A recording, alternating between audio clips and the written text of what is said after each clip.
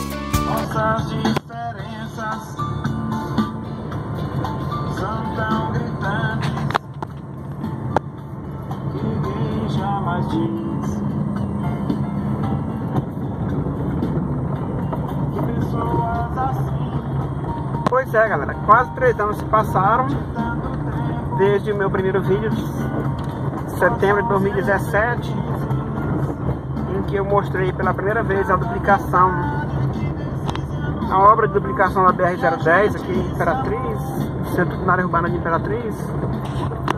E agora eu vou mostrar novamente, depois de quase três anos, o que foi que aconteceu. Eu não sei se foi por falta de, de, de verba ou falta de vergonha, eu só sei que a obra estagnou. Tá aí, ó. Você vê aí a ponte construída. Do outro lado também. Mas não saiu daí.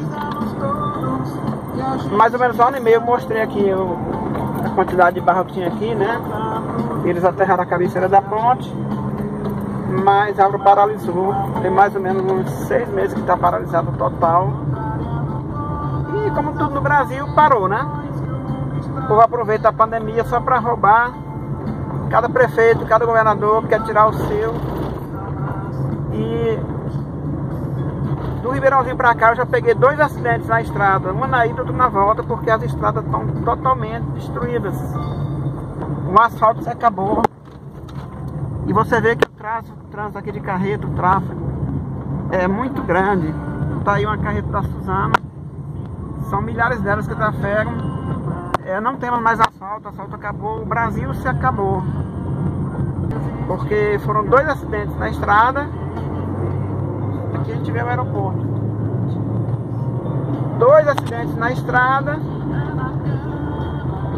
Por quê? Porque a estrada está totalmente destruída. E é assim que nós estamos hoje no nosso Brasil, nossa Imperatriz. O shopping essa semana voltou a abrir parcialmente. O comércio abrindo. Ontem nós fechamos mais ou menos 2.800 mortes, já são quase 3 mil. Não, desculpa, gente.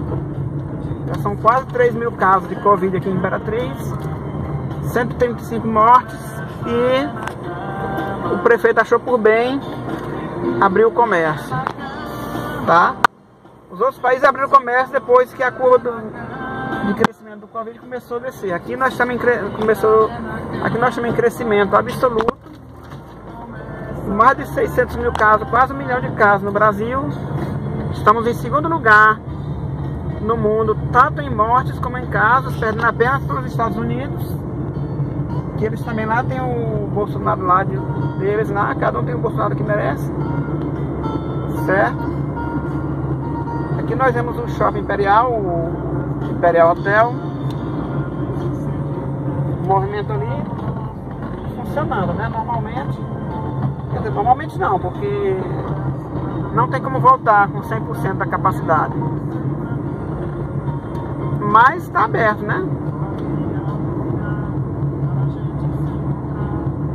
Eu vou encerrar por aqui o vídeo, tá? Aqui nós estamos passando de antiga rodoviária de Imperatriz.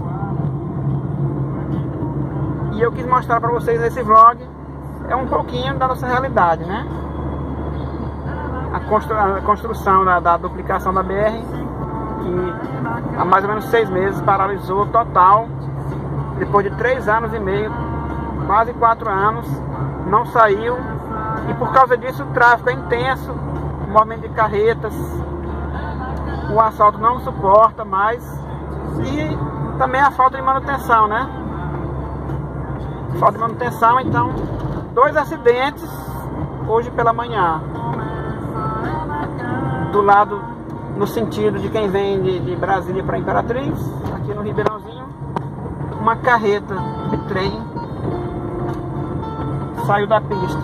E no sentido de quem vai de Imperatriz para Brasília, aqui no, chegando no Ribeirãozinho, um acidente com dois carros pequenos, tudo causado pelo buraco, pela má conservação. E eu vou encerrar aqui, estou parando aqui no sinal já na subida para entrar na, Avenida do João Pinheiro, tá? Encerrar aqui o nosso vlog de hoje. E até o próximo.